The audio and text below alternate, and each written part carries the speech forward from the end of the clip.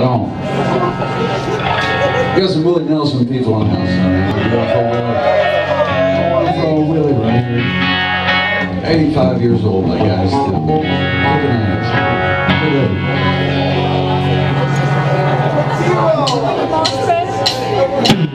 When whiskey river came